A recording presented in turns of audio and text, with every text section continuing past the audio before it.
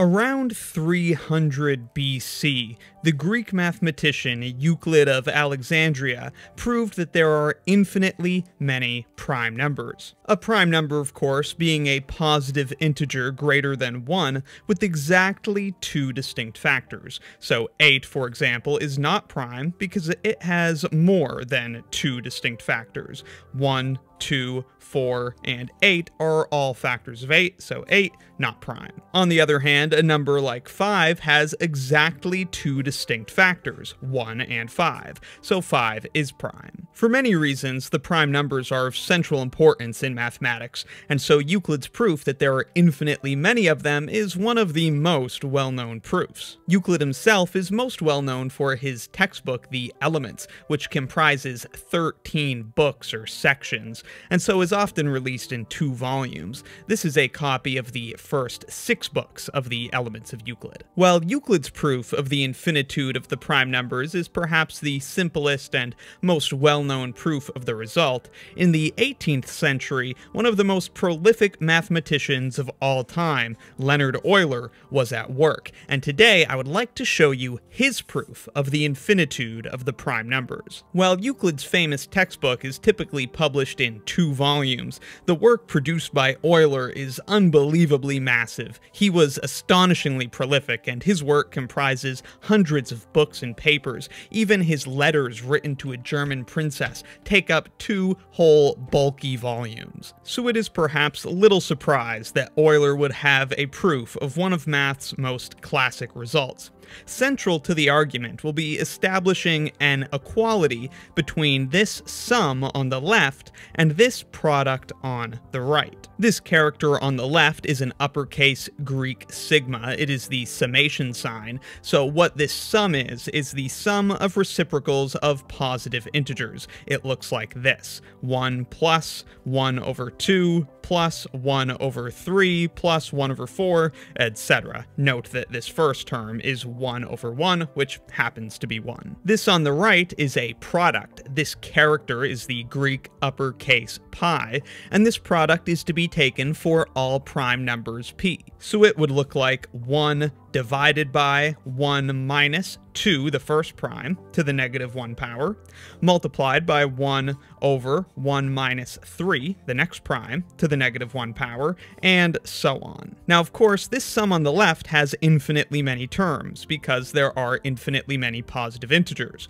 1, 2, 3, 4, 5, we can go on as far as we like. On the right, though, we don't know yet if this product consists of infinitely many terms, because of course the whole argument here is whether or not there are infinitely many primes. If there are, then indeed this product will have infinitely many factors, one for every one of those infinitely many primes. But if in fact there are finitely many primes, this product would only have finitely many factors. Like I said, this equality is what will be key to our proof. We need to show this equality is true.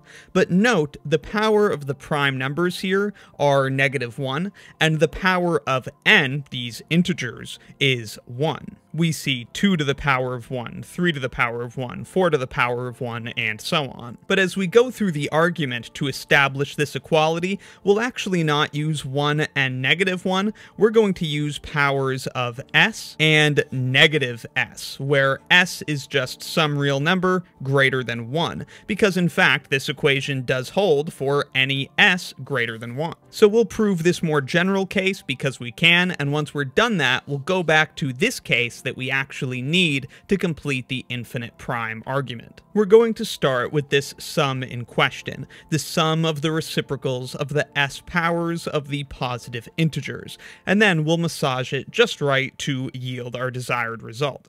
Now imagine we take both sides of this equation and multiply them by 1 over 2 to the s, the reciprocal of the s power of the first prime number, which is 2. Then on the left, of course, we just have 1 over 2 to the s times the sum, and on the right, imagining how we would distribute that 1 over 2 to the s times these infinitely many terms, we would first have 1 over 2 to the s times 1, which is 1 over 2 to the s. Then 1 over 2 to the s times 1 over 2 to the s. So we would have plus 1 over 4 to the s. Then 1 over 2 to the s times 1 over 3 to the s, so 1 over 6 to the s, and so on. These denominators would all just be the s powers of multiples of 2. Now what happens if we subtract the second equation from the first equation? Well, on the left side, we have this sum, and then would be subtracting 1 over 2s times the sum. So in total, on the left, we would have 1 minus 1 over 2s copies of this sum, which looks like that. On the right, of course, we'll have all of these terms, but take away the even ones which have been subtracted. The even ones, of course, being the terms whose denominators have the s powers of multiples of 2. Thus, we would still have 1 on the right side, but 1 over 2 to the s would be cancelled out. We'd still have 1 over 3 to the s, but 1 over 4 to the s would be cancelled out. We'd still have 1 over 5 to the s, and so on, just all of the odd numbers. Now, say we move on to the next prime number. So this first thing we did was take the sum and multiply by 1 over 2 to the s let's take this new expression we have and multiply by 1 over 3 to the s. Then this is what we have on the left. Note how we're multiplying by 1 over 3 to the s. On the right, first we'd have 1 over 3 to the s times 1, which gives us 1 over 3 to the s. Then 1 over 3 to the s times 1 over 3 to the s, so 1 over 9 to the s. Notice how we skipped a multiple of 3. We skipped 1 over 6 to the s because 6 was even and already got cancelled out with that 2. The next term would be 1 over 3 to the s times 1 over 5 to the s, so 1 over 15 to the s, and so on. We're going to have all of the multiples of 3 excluding the even ones. Now again, what happens if we subtract this equation from this one? On the left, we'll have 1 minus 1 over 3 to the s copies of this, and on the right, we're going to have all of these terms of the sum, excluding those that are multiples of 3. Again, many multiples of 3 that are even numbers have already been knocked out, but remaining multiples of 3, like 1 over 3 to the s, and 1 over 9 to the s, 1 over 15 to the s, all of those are going to be cancelled out. So this is what we have on the left after the subtraction, and on the right, we have 1 plus 1 over 5 to the s we still have, plus 1 over 7 to the s we still have.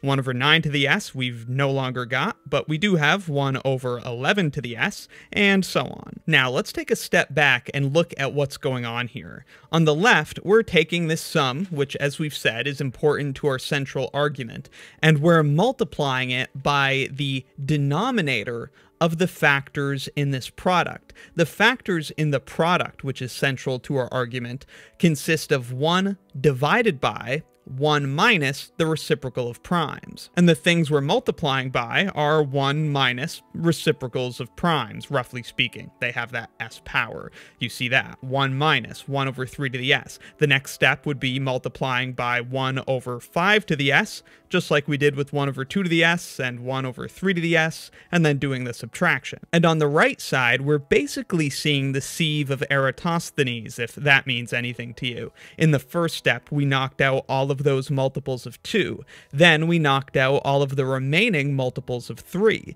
The next step would have us knocking out all of the remaining multiples of 5. That is, multiples of 5 which are neither multiples of 2 nor 3. And if we continued this process indefinitely, since we know every positive integer greater than 1 either is prime or can be factored into primes by the fundamental theorem of arithmetic, we will eventually knock out all of these terms except except for 1. For example, in a couple more steps, we would be dealing with 1 minus 1 over 11 to the s, at which point this term, and all multiples of 11, would get cancelled out. So then, in a nutshell, what we've established is if we take the sum of the reciprocals of the s powers of the positive integers and multiply that by all of these factors, factors of the form 1 minus 1 over p to the s for all prime numbers p, we will eventually cancel out all terms of this sum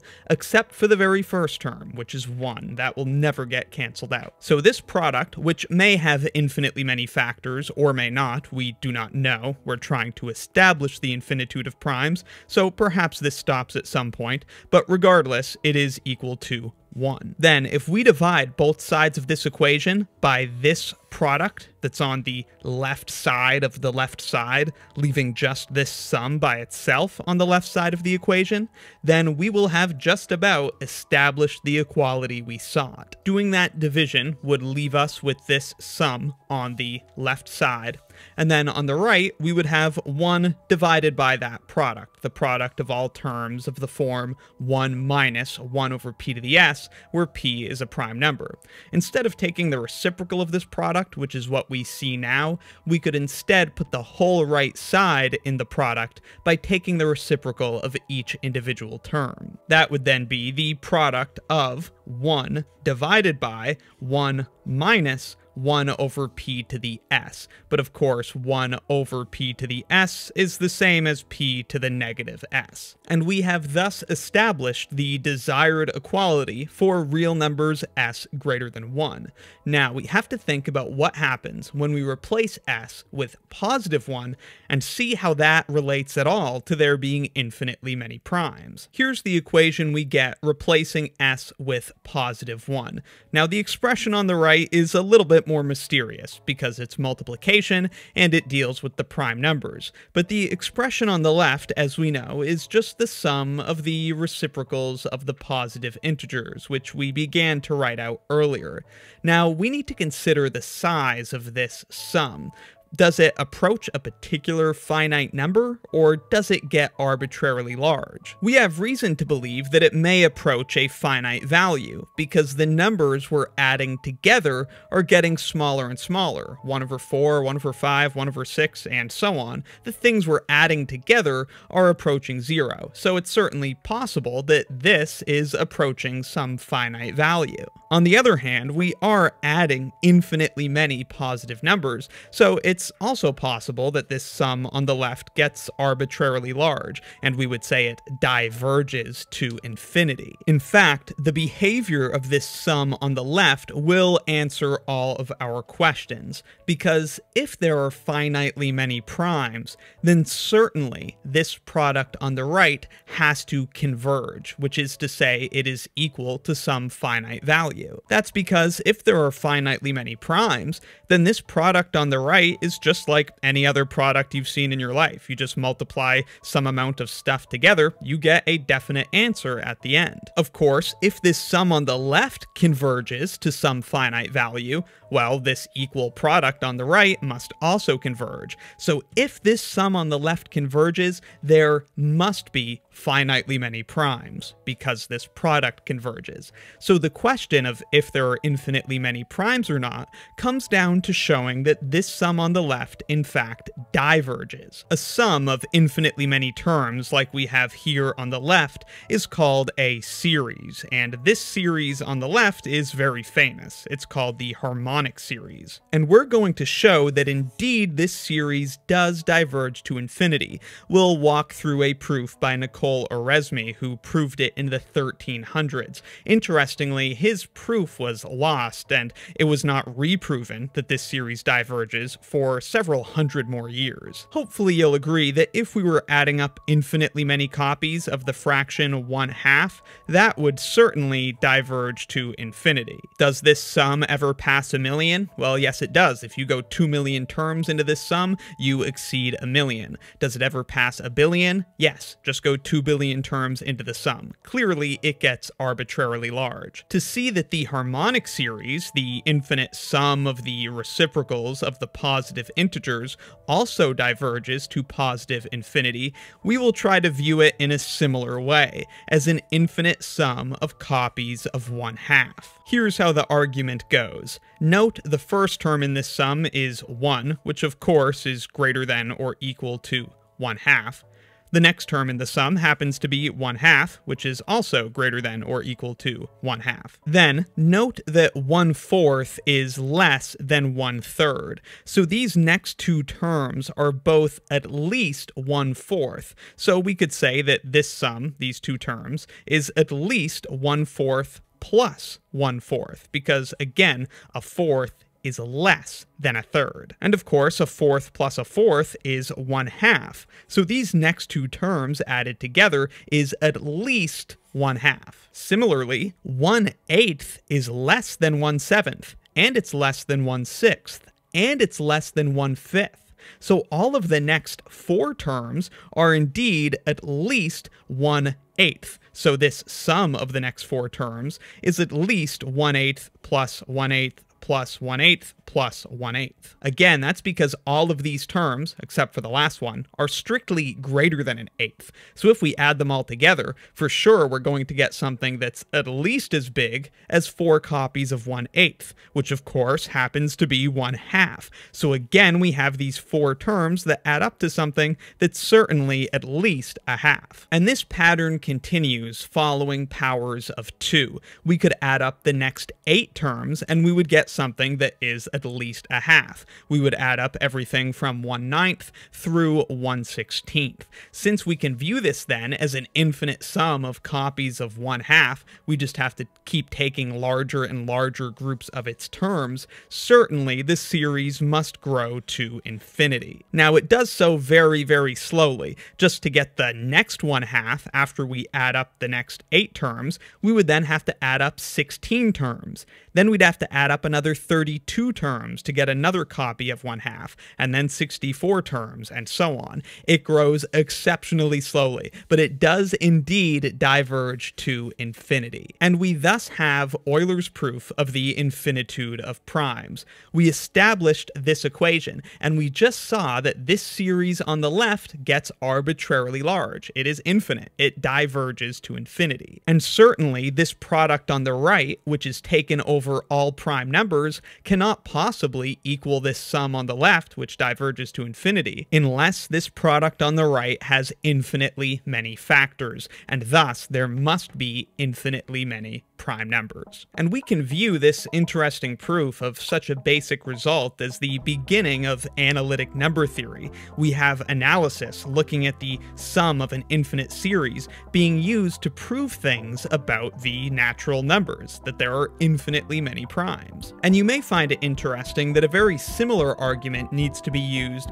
to figure out what the likelihood is of randomly choosing two positive integers that have no factors in common. I'll leave a link in the description to my video going over that. But that's Euler's proof of the infinitude of primes. Let me know in the comments if you have any questions, and be sure to subscribe for more of the swankiest math videos on the internet from my fate, twisting to escape this. Climbing out of my, my, my wrist if you can break it. Breaking in my past, I'm making it up fast. So slow down, give me the time so I can fake it. Erase the tone of words and just how I say shit. And let me speak my poetry to your face. It's not in the mid if you ain't listening.